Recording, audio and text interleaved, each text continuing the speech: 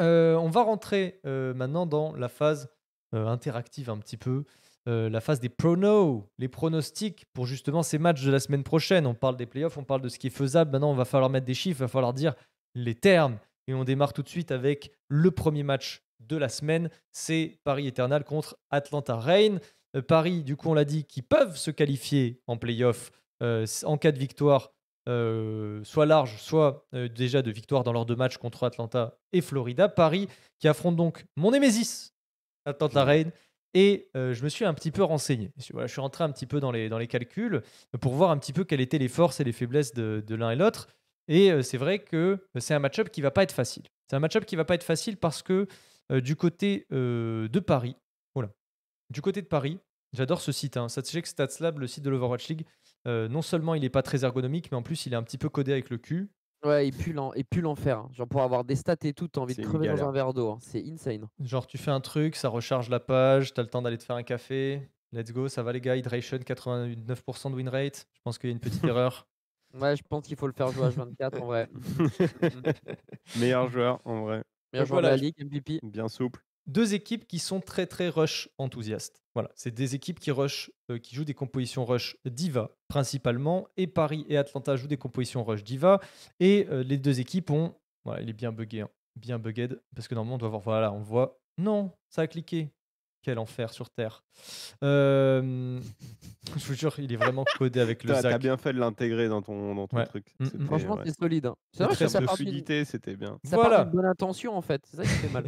Deux équipes qui jouent principalement des compositions rush. Diva, Paris Eternal a remporté un peu plus de 50%, 52% de leur teamfight sur cette composition.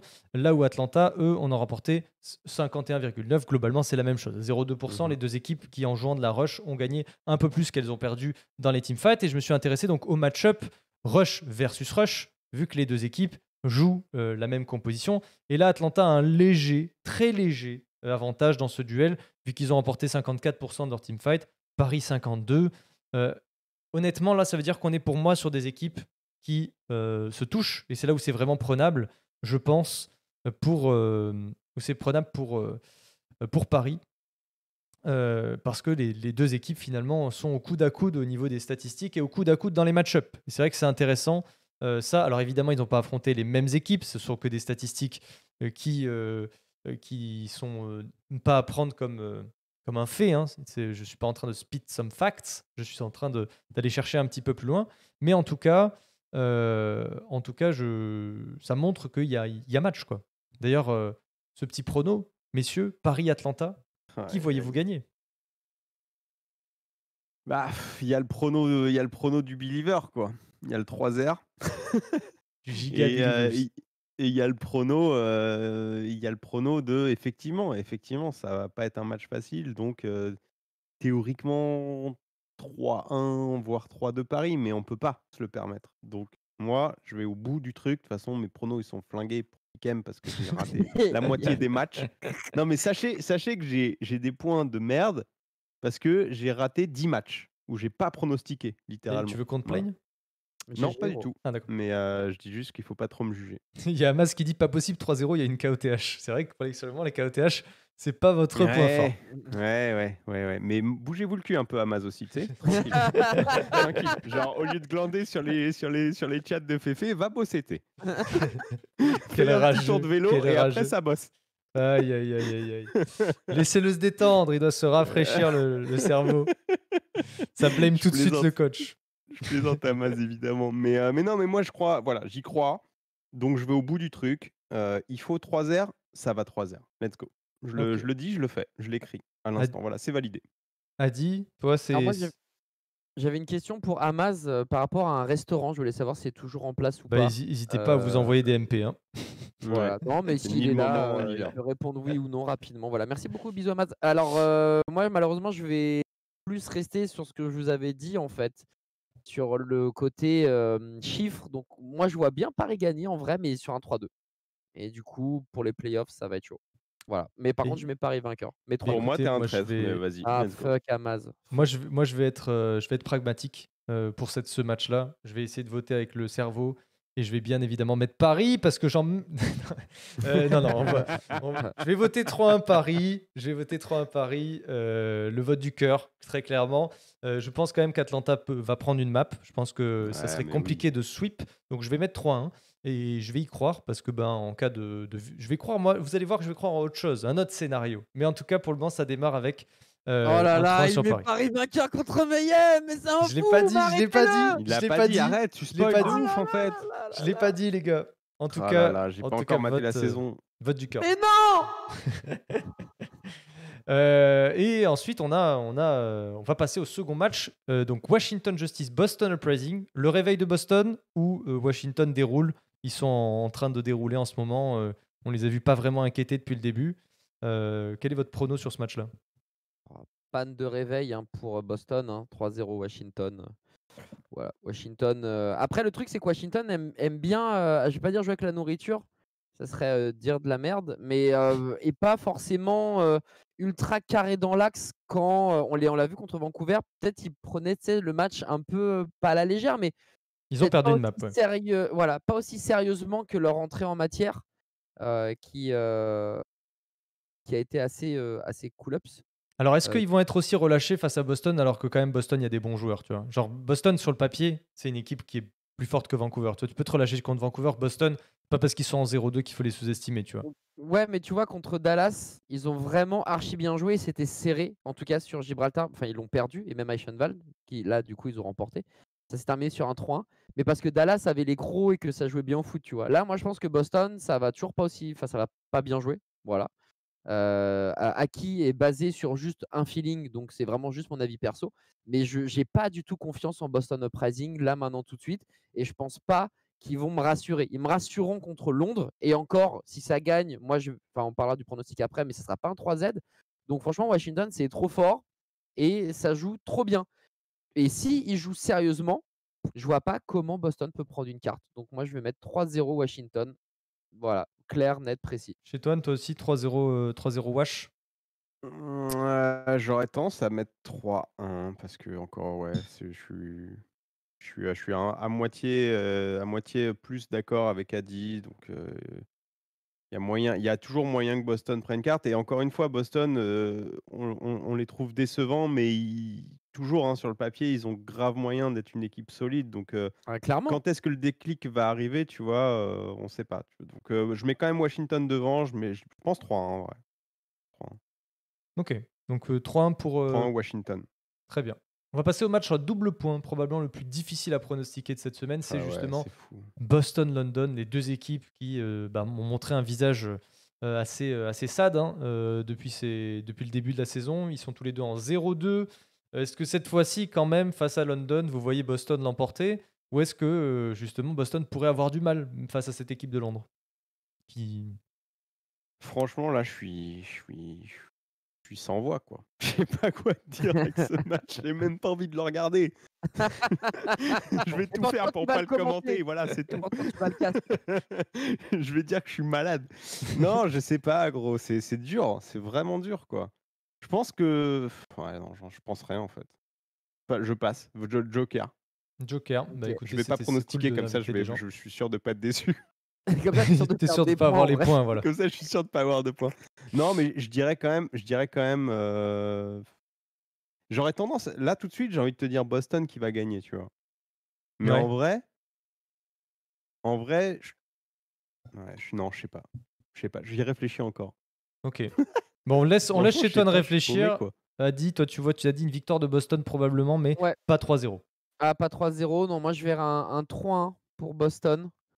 Euh, là, pour le coup, c'est pas que Boston est ultra balèze, c'est juste que Londres est pour moi pas assez fort. Ok. Et que du coup, euh, c'est là où va jouer la différence. Je peux évidemment me tromper. Euh, après, en termes de rush, hmm, je pense qu'il y a quand même un petit avantage Londres qui pourrait effectivement déstabiliser Boston, mais Boston aime bien, tu la manière de Dallas, jouer des rushs un peu différentes avec un Doomfist, avec une Echo. Et c'est là où je me dis que peut-être qu'ils vont être déstabilisés sur une carte, mais pas deux. Tu vois, ils vont, analyser, je pense, très rapidement, même si je pense que c'est fait avec le, coaching staff et tout, hein, évidemment, les VOD et tout. Mais je pense qu'une fois sur le terrain, ils vont peut-être se faire surprendre une fois, mais pas deux. Donc ils se font surprendre, ils perdent une carte et ensuite ça les éclate. Et quand il va falloir passer sur des compositions double shield, des dives, encore une fois avec un Doomfist qui pourrait sortir du chapeau ou, ou ce genre de choses, bah, je pense que Boston est supérieur, voilà, tout simplement, et que ça devrait le faire. Mais pas un match facile. Tu vois, je m'attends pas à ce qu'il y ait que des 2-0, des full hold et des trucs comme ça. Je pense qu'on va aller une fois au bout de la map. Peut-être qu'il y aura même une seconde phase d'attaque sur une carte d'assaut, par exemple. Mais Boston gagne et gagne 3. Ok. Bah écoute, je vais un peu suivre ça. Je me suis allé me renseigner un petit peu sur les statistiques aussi rapidement pendant que pendant qu'on discutait. Et c'est vrai que Boston a joué des compositions un petit peu atypiques. Hein. tu l'as dit avec du Doomfist, avec du Sigma aussi. Ils, ont, ils sont adeptes de la Reine Sigma. On les a vus jouer mmh. ce type de compo. Ils ont peu joué de rush. Mais c'est la seule chose qu'ils ont joué contre de la rush de manière générale. La composition la plus jouée chez Boston, c'est la double bubble. Mais ils ont joué de la rush et ils ont un, win rate qui est quand même de 43% alors qu'ils ont affronté euh, quand même des bonnes équipes de, de la ligue, là où le win rate de London est aux alentours de 25%. Donc ça devient un peu plus compliqué. C'est vrai que je vais quand même voter Boston. Je les vois pas gagner 3-0, surtout parce qu'ils risquent d'être fébriles un peu au vu des résultats précédents qu'ils ont eu. Donc le doute peut s'installer et London peut prendre une map. Mais je vais être d'accord avec Caddy, je vais partir sur un 3-1 avec une victoire de, une victoire de Boston. Et celui-là, il coûte cher, hein, parce que c'est le double point, les gars. Ah, c'était 6 points dans la poche. Pas intérêt de, nous décevoir. Si Boston perd là, c'est terminé pour moi. Je dis 3-1 et si, ça, si c'est pas ça, ce sera votre faute. Ok. Vous m'avez convaincu. responsabilité. Vous, m'avez convaincu de ouf. Les grands pronostics impliquent de grandes responsabilités, Shade. Exactement. Cette semaine, c'est aussi vos toiles. Le retour de euh, eh d'une équipe qu'on a vraiment envie de voir, qu'on a vu en première semaine, gagner et perdre. C'est l'équipe de notre cher français FD God, San Francisco Shock, qui revient et qui affronte Florida Mayhem.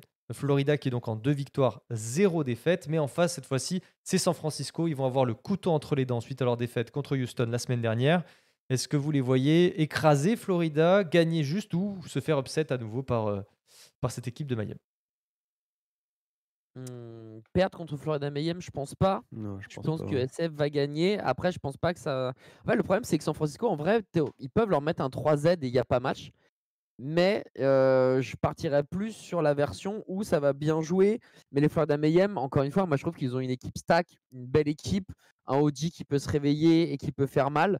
Et, du coup, moi je les vois gagner 3-1, peut-être flawless sur une carte ou deux, mais très compliqué sur, sur les autres. Vraiment, je vois, tu sais, le truc de San Francisco, j'aurais la sensation de, de me dire qu'ils peuvent vraiment se tomber plus ou moins qu'ils veulent mais Florida Mayhem va pas se laisser faire et je pense que ça peut être accroché sur d'autres. Donc, moi, je partirais sur un, sur un 3-1, mais en faveur de San Francisco. Mmh. Chez toi, tu es d'accord avec ça? La, Ouais, ouais, la, la, la, réflexion est bonne, mais je pense que les San Francisco Shock, il faut, qu'il, il faut prouver aussi, tu vois, genre que qu'ils sont là.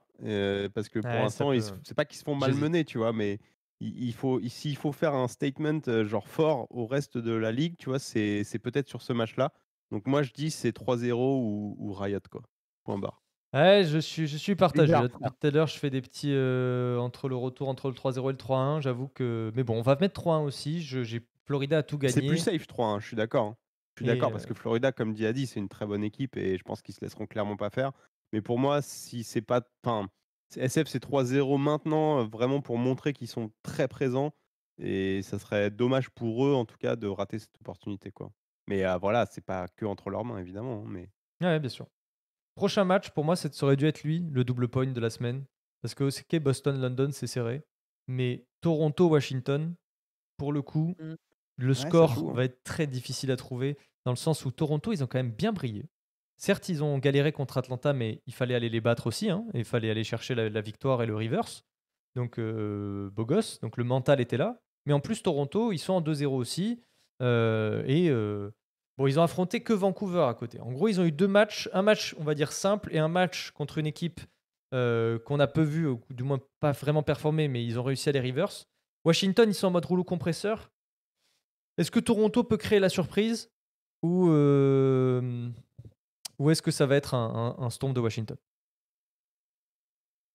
Hmm, Washington, théoriquement, ils sont déjà qualifiés. Donc il y a peut-être moyen de, de lâcher la pression. C'est ce qu'on a vu face à Vancouver, à mon sens, encore une fois. Hein, mmh. que quand, c'est déjà win, ça, se relâche en fait. en revanche, comme tout bon compétiteur et comme tout bon joueur e-sport coréen, je pense qu'ils vont quand même gagner le match, mais que ça sera un 3-2. Je pense que Toronto, en fait, effectivement, a les armes de faire ultra mal. très rapidement, on a vu que dans les, power rankings IBM by Watson, il y avait des joueurs Toronto Defiant qui étaient très haut placés. Moi, j'adore Ansu Jay, par exemple. Je, il me fait kiffer ce joueur, je sais pas pourquoi. Je, il y a des joueurs comme il ça. Est bon, hein, il est bon, bah, je, l'aime, je l'aime bien. Et une fois n'est pas coutume, c'est un main support. Normalement, j'ai une belle affection pour les flex, mais sur son main, je trouve, enfin sur les main support là-dessus, j'avoue que il me régale. Et, grosso modo, Issou aussi, ultra balèze. Neist aussi, qui a trusté des belles places au niveau des power rankings. ouais, je, vois Toronto les surprendre dans le bon sens du terme. Mais à la fin, bah, c'est les Coréens qui gagnent. Alors tu me diras, du côté de Toronto, il y a beaucoup de Coréens, mais vraiment plus Washington parce que parce qu'une fois qu'ils auront fait 1-0, puis un partout, puis 2-1, puis 2 partout, ils vont dire bon, ouais, la carte de contrôle, on va à la 2Z et puis on passe à autre chose. Donc voilà, je mettrais 3-2, match ultra serré, ultra beau, très spectacle, mais pour Washington.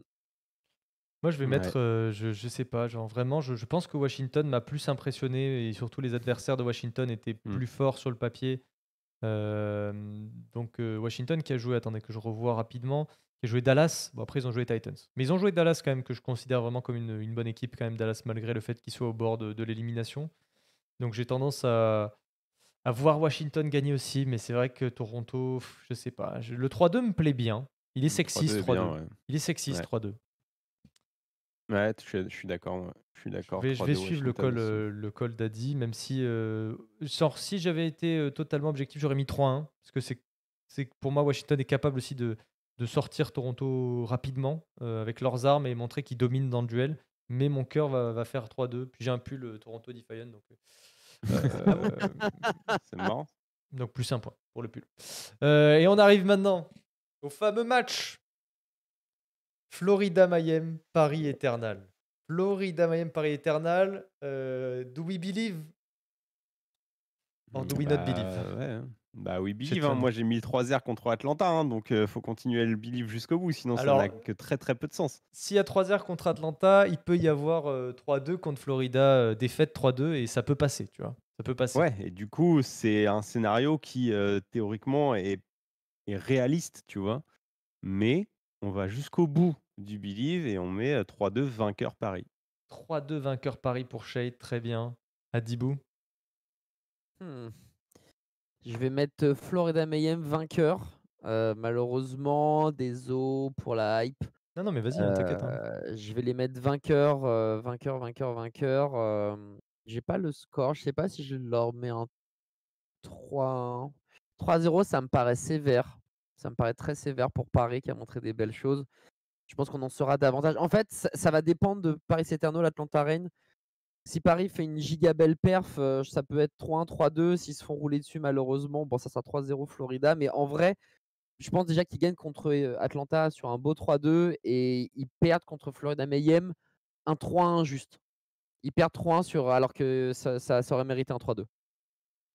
Ok, ok, je vois. Après, en plus, c'est vrai que le.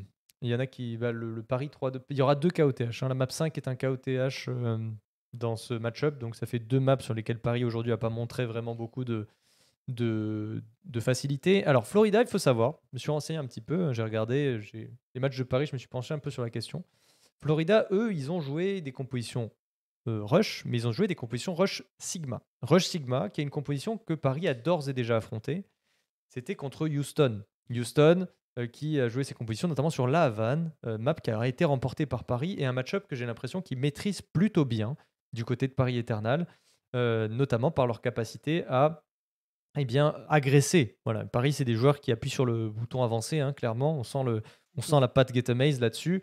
Et euh, il y a de la déglingue et ça fonctionne plutôt bien, surtout contre ces compositions Sigma.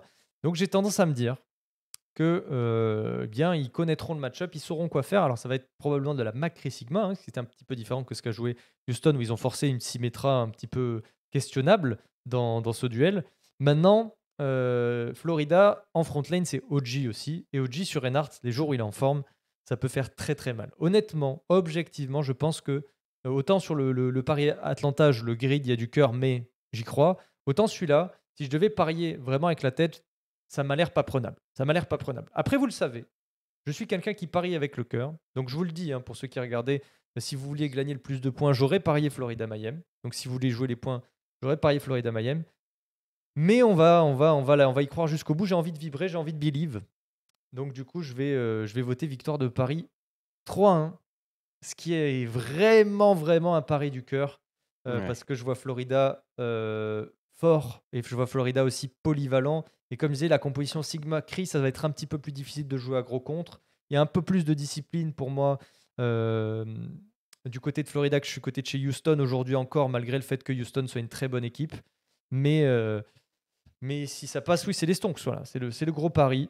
C'est le gros pari, mais, euh, mais objectivement, Florida, pour moi, a plus les armes que, que Paris pour l'emporter. Florida doit gagner parce qu'en plus, ils auront perdu la veille, selon moi, contre San Francisco Shock. Donc ça va être un match qui va être majeur pour Florida Mayhem. Mais bon, est-ce que peut-être que la pression et l'irrégularité d'Oji euh, remonteront à la surface avec cette pression, justement, cette obligation de gagner leur match? Tout est encore possible. Voilà, beaucoup de, j'ai mis beaucoup de storytelling là-dedans. C'était beau ce que tu dis. c'est bien, j'ai l'alarme à l'œil. moi aussi, pas le même œil. Euh, London-Toronto, mesdames et messieurs, London-Toronto, moi je vais y aller straight forward, je vais mettre 3-0 Toronto, on n'en parle plus. Je believe. Euh, London peut prendre une map. London va peut-être même prendre une map, mais pour moi c'est 3-0 Toronto. Ouais, pareil. 3-1 Londres. Prends toujours une carte Londres. C'est des preneurs de cartes, Londres? Ils prennent une petite carte?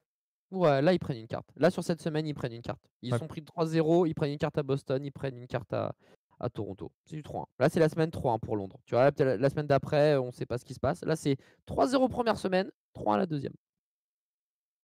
Et le dernier match de cette euh, journée Ouest, San Francisco Shock contre Atlanta? C'est un 3-0. Hein. Mérité. Ah, c'est un vote du cœur, moi. Moi, c'est un vote du cœur. Eh ouais, non mais voilà, on est d'accord. Je crois qu'avec Fefe, on est assez d'accord. C'est voilà, c'est un 3 heures mérité. Ouais, ouais, J'ai fait l'erreur la semaine dernière de pas voter les 3 heures en disant que les équipes pouvaient prendre des maps, mais le format favorise quand même les 3-0, vu qu'il n'y a pas de pause entre les trois maps. Et je vois San Francisco vraiment en mode rouleau compresseur cette semaine. Et, euh, et, Atlanta, je les vois pas, je les vois pas duel, même si euh, peut pas. Je pense que ouais, j'ai envie de mettre ce 3-0, donc je le mets. Adibou J'hésite 3-1, 3-0. Enfin, de toute façon, victoire SF, là-dessus, je pense qu'il n'y a pas de galère. Mais euh, non, 3-0. Euh, Allez, 3-0 San Francisco. Selon nos pronos, Atlanta finirait donc en 0-4. Euh, euh, 0-4. aïe, aïe, aïe. Euh, J'aime Non, mais bon, non, c'est pas, c'est pas gentil. Mais, mais ouais, c'est possible. J'ai de nouveau le bug, il va falloir que je refasse tous les scores. Ouais, moi aussi, je peux pas save. Ah si, ça y est.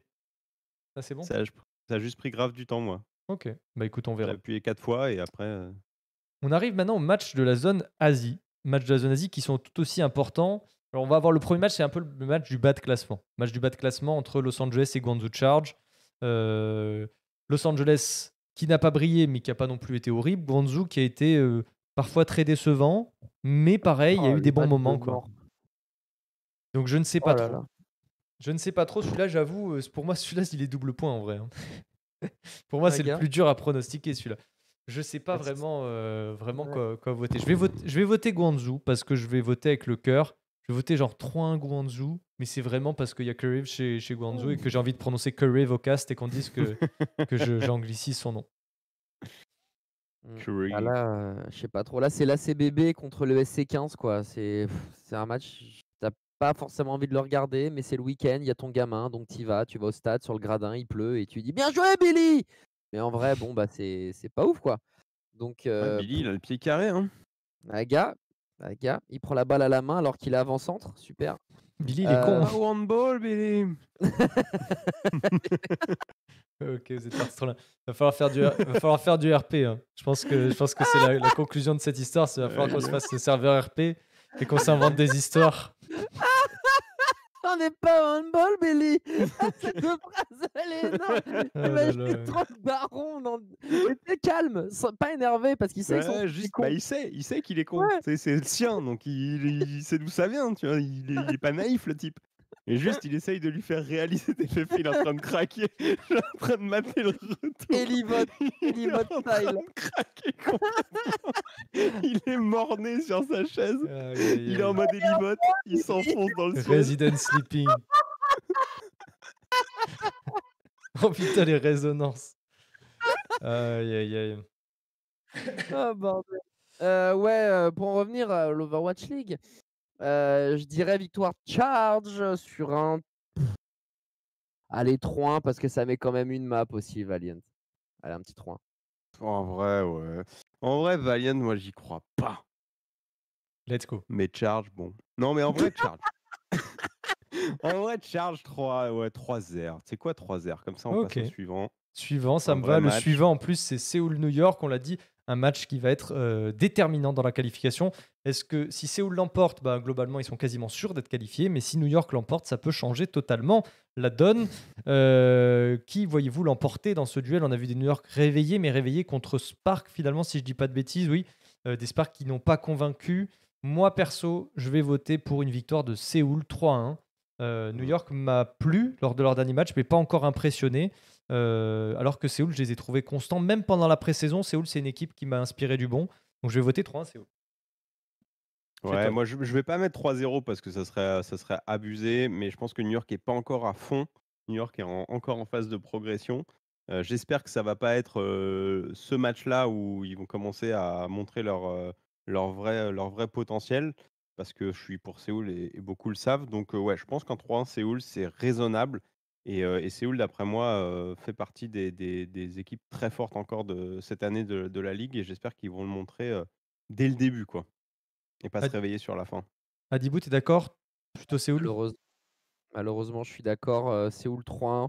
J'aurais voulu, j'aurais aimé voir euh, New York euh, peut-être euh, démarrer plus fort ce début de saison pour dire euh, 3-2 Séoul ou peut-être même victoire. Mais là, en vrai, euh, New York, malheureusement, pour le moment, c'est pas assez OP. Et je, ouais, je les vois pas du tout gagner contre Séoul. Après, le truc, c'est que c'est le match qui compte pour les playoffs.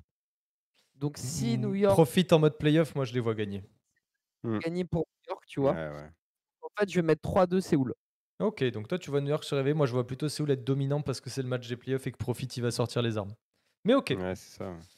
Euh, Shanghai Hangzhou, euh, je vais être. euh, je sais pas, en vrai, je vais mettre 3 À la surprise un peu, je vais mettre quand même Hangzhou avec leur nouveau changement là, en mode petit honeymoon phase. On a changé de staff, on s'en sort. Shanghai pas super confiant depuis le début de, la, de la saison. Là, ça va être leur moment de, de montrer, mais quand même, ils vont faire une petite erreur. Je vais mettre 3 pour Shanghai. Peut-être à tort. hein. Peut-être que là, en vrai, sur la zone Asie, des fois, on a juste des stompes et ça va faire 3-0. Mais je vais partir sur 3 Moi, je vois Shanghai sur le, le chemin de la rédemption pour justement préparer le, le très très gros dernier match qui les attendra contre, contre New- enfin le plus gros dernier match contre New York. Donc euh, je dirais 3-0. Ok. Adibou, rapidement 3 heures. 3-0. Très bien. C'est où le Valiant 3 heures? Ouais. On l'accorde? Accordé? J'ai vendu, les gars, let's go. hein. Voilà. Bon, Celui-là, euh, sans rentrer dans les détails, on le met. Voilà, on le met. Il sera peut-être pas le cas. hein, Peut-être qu'il va y avoir une surprise, mais pour moi, Séoul, ouais, c'est- ils doivent confirmer. Séoul qui terminerait du coup. Euh, Séoul qui aurait tout gagné ils ont... Ah non, ils ont perdu contre Philly. Donc ils terminera en 3-1. Euh, ils doivent remporter vraiment leurs deux matchs en plus, hein, quand même. Séoul, pour être sûr Ah, il d'être bien qualifié et bien placé. Et puis envoyer un, grand, un message aussi aux tops équipes en mode nous piquez pas, on est plus fort que ce que vous pensez pour essayer de se faire un tour supplémentaire. C'est pas une mauvaise chose. Guangzhou, Hangzhou. Alors celui-là, il est, il est dur. hein. pas évident. Ouais. Il est vraiment dur. Hmm, Il est bi- biscornu un peu. J'ai envie de mettre un- j'ai envie de mettre J'ai envie de mettre Spark. ouais, j'ai envie de mettre Charge moi. J'ai envie de mettre Charge aussi. Putain, j'ai envie de le, j'ai envie de le clutch celui-là. J'ai envie de le clutch. Bah, après si t'as si t'as mis un, un mini believe sur euh, sur Sparks face à Dragons, tu vois, genre ça pourrait être euh, legit, tu vois, de mettre Sparks euh, qui, ouais, c'est ça, c'est Charge. dans la continuité, ouais. Mais moi, je vois Charge quand même euh, avec euh, un, un potentiel pas encore 100% exploité. Ça reste des très bons joueurs. Je pense qu'ils sont juste pas rentrés encore euh, bien dans le truc, quoi. Il y a, il y a un, il y a un vrai potentiel. Il y a des nouveaux arrivants et des nouveaux, des nouveaux joueurs qu'il faut vraiment bien intégrer et tout, mais il y a une très bonne base chez Spark. De... Je, suis même surpris qu'ils ne s'en sortent pas si, si bien que ça pour le début. Quoi. Je vais hmm. mettre 3-2, moi, Charge. Ok. Euh, juste avant que Adi donne son avis, euh, sachez quand même que vous pouvez changer entre les journées. Hein. Rappelez-vous, hein. jeudi, vendredi, samedi, entre chaque journée, vous pouvez changer. Donc, vous pouvez vous faire une petite appréciation de comment s'est passé pour Hangzhou. Par exemple, s'ils se font détruire contre Shanghai 3Z, ils passent pas les P1. Là, peut-être que moi, je vais changer mon vote, tu vois. Euh, n'hésitez pas à le faire d'une journée à l'autre. Ne committez pas sur un pari pour toute la semaine. Euh, parce que ça peut, bah, ça peut vous faire perdre des points. Adi, toi aussi, euh, donc victoire de Guangzhou Charge. T'as dit? charge 3-1. 3 pour les Charge, je sais pas. j'aime bien cette équipe, j'aime bien les joueurs qu'il y a dedans. Ils gagnent contre Valiant la veille. Les Sparks qui sortent d'une grosse défaite face à Shanghai Dragon. Il n'y a pas de phase de lune de miel. On est toujours dans la machine à laver et on termine en beauté avec une défaite pour Spark, histoire de bien faire comprendre à Billy Billy que ça l'histoire. Et par contre, ça se réveille pour le mois de juin. C'est vrai. Et c'est vrai aussi que moi, je n'ai jamais changé entre les journées. J'ai toujours commit sur mes paris du mercredi. Euh, même quand c'était un peu limité, je m'en sors pas trop mal au niveau de la Fantasy League. Donc peut-être que je changerai pas encore cette fois-ci.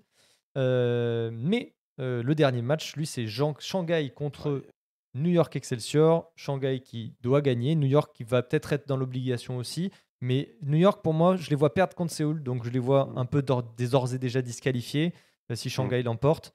Donc je vais avoir tendance à, à voir Shanghai terminer en mode rouleau compresseur. Moi, j'ai envie de mettre 3 Z Shanghai sur celui-là. Ouais, très d'accord. Très d'accord. 3-0. Shanghai qui doit confirmer juste avant les playoffs. New York qui sort d'un gros match compliqué contre Séoul, qui sait qu'ils sont éliminés. Il n'y a rien à gagner, il y a tout à apprendre plutôt du côté de New York. Donc c'est un match où ils vont perdre, vont, où je pense qu'ils peuvent beaucoup apprendre finalement. Euh, je dis pas que c'est un 3-0 net précis sans bavure, mais c'est quand même un 3-0 pour Shanghai au niveau du score. Et, euh, et voilà, donc euh, voilà pour le storytelling, je vois bien Shanghai 3Z euh, comme ça. Moi, en soi, ça aurait été un match standard, j'aurais pas mis 3-0, mais là, c'est vraiment la suite du. Bah, on est déjà éliminé parce que je les vois perdre contre Séoul. Bien sûr, et Shanghai doit faire pour les playoffs. Ouais, je sais pas s'ils ont le mental, effectivement. Au début, j'étais parti sur un 3-1, tu vois, en mode bah, un peu same que Séoul et tout. Je suis d'accord. Mais c'est vrai qu'il y a le côté un peu le, contre-coup, tu vois, le contre-coup de bon, bah, c'est dead. Autant revenir plus fort, on va pas non plus, tu vois. Mais est-ce qu'il y a de la fierté? Est-ce qu'il y a suffisamment de. Je sais pas. Oui, 3-0, 3 En vrai, celui-là se modifie aussi après la première journée, le visage qu'ils auront montré contre Séoul. En plus, c'est un double point celui-là, à mon avis. Il faudra penser, les gars, à le retravailler si, si vous, euh, si vous voyez un beau visage. Je vais mettre 3-1 pour l'instant en tout cas, mais euh, effectivement, je modifierai peut-être euh, selon le scénar respecté contre Séoul et quel visage a montré New York surtout. Quoi. Ouais, bien sûr. Bien sûr, bien sûr. C'est vrai. Eh bien, écoutez, on a fait le tour des pronos de la semaine. Il y aura évidemment les playoffs. Je ne sais pas s'ils vont rentrer en compte à un moment. Là, il y a le, je vois Knockout Sunday, donc il va apparaître. Ah, Submit Teams? Non, ça, on peut pas encore. A priori, il faudra choisir aussi pour le Knockout Sunday, pour dimanche, du coup. Entre samedi et dimanche, il faudra faire un petit moment où on se sélectionne euh, nos équipes pour euh, les. Euh, ah, on peut déjà le faire. Pick two teams from ouais, region to advance to the main league. Oh, il y a déjà. Donc on peut dire qui on voit d'ores et déjà qualifié? Bah ouais. C'est qui va. Select des équipes dans chaque région pour le même. Donc là, si je pique bah, qui, se qualifie, quoi, mais c'est trop con parce qu'il y en a qui sont déjà qualifiés. C'est qui se qualifie ou c'est ou c'est qui qui gagne pour le knockout? C'est qui se qualifie? Tu peux en choisir deux. Vous êtes sûr que c'est qui se qualifie? C'est nul. Qui se qualifie? Bah, euh, La région Est, j'ai cliqué sur Shanghai et Philly. Ah, c'est qui va à Hawaï? C'est qui va à Hawaï, les gars? Donc c'est qui va à Hawaï, c'est-à-dire en gros qui euh, gagne son match, qui se qualifie à la fin du knockout pour euh, Hawaï. C'est pas qui est qualifié pour les barrages, c'est qui est qualifié pour mmh. la finale. Donc par exemple, moi je vais mettre Philly, mais, je pourrais me mettre un Shanghai à la place d'un Chengdu, par exemple, si je pense, si je suis un, Hein, mais je vais mettre Chengdu parce qu'ils ont quand même gagné 3-0 contre Shanghai. Euh, mais, euh, mais ouais. Moi, je pense que je vais, euh, je vais mettre, je vais mettre Philly Chengdu en mode Chengdu Believer.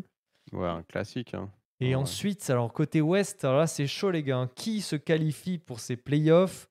J'ai envie de mettre. non, qui va à Hawaï? Paris, c'est un peu chaud pour Hawaï quand même, les gars. Je vous adore. Hmm.